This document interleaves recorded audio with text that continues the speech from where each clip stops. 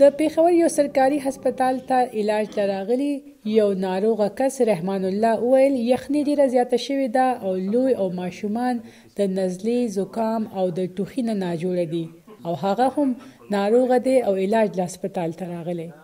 بیمار یم، زکام دی، ټوخی دی، تبه ده او دا موسم داسې دی چې ډېر زیات یخ دی نو غټ څه کې چې ماشومان هم ټول غریبانان پراته دي.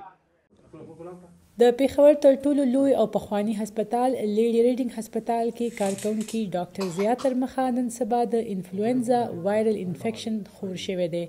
دغه وایرس د لاسه کېدونکي نسخان ځکه تېزۍ سره خور شي چې خلک حفاظتي اقدامات او احتیاط نه کوي. که یو کس ته نزله زکام یا ټوخی وي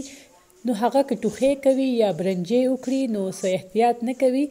ځکه دغه وایرل انفیکشن یا نسخان نورو ته هم ولګوي. علاماتو کې خلکو ته تبه راشي، ټوخی راشي، پوزه را بهیږي، سترګې سرې شي، سترګو نه اوښکه راځي، په جسم باندې دردونه شي، ها خېټه هم پکې خرابیږي ځکه چې وایرل انفیکشن دی نو اکثر خېټه هم خرابیږي نو خلک زر تر زره کوشش کوي چې یاره ځان ته انټي بایوټیک استعمال کړم مین خبره دا ده چې انټي بایوټیک استعمالول په دې کې هیڅ رول نشته دا خپله باندې ټیک کیږي. ډاکټر ضیا خان مشوره ورکوي، که یو ناروغ کس د نزلې، زکام یا د ټوخي علامات لري، نو په کار ده خپل لاس بیا بیا وینځي، ماسک اچوي او صفا ټیشوز سره سترګې او پوزه صفا کوي او په خوراک کې یخني یعنی سوپ، قهوه او د شاید غوندې ګرم خوراکونه استعمال وکړي او ګرمو اوبو سره سترګې او پوزه صفا کوي. ډاکټر عبید الله سمي چې هم لیډي ریډنګ هسپتال کې کار کوي وايي د یخني موسم کې نزله زکام ځکه سیوا شي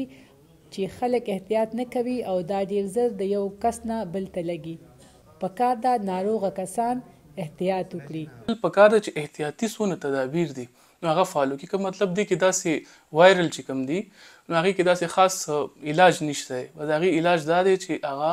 وبشو کاوه شو هغه سيزونه چې کوم لیکویډ دی مایع د هغه ځا سیوا کی او هغه نه علاوه که چرته په د باندې تبه راځي نو هغه د پاره دغه عام پریسټامول پیناډال ګولې دی التکه دي وه. د صحت ماهران وايي، خشک موسم، د ماحول خیچنوالی هم داسې ناروغو، علامات او تکلیف سېوا کوي او تېرو کلونو کې د کرونا د وایرس له وجې هم د خلکو د ناروغو خلاف د جسم مدافعت قوت یا ایمیونټي متاثر شوې ده ځکه عام خلکو خصوصاً مشرانو او د ماشومانو داسې قسمه ناروغو کې ډېر خیال ساتل پکار دي او احتیاط او صفایي د داسې وایرل نسخانونو یا د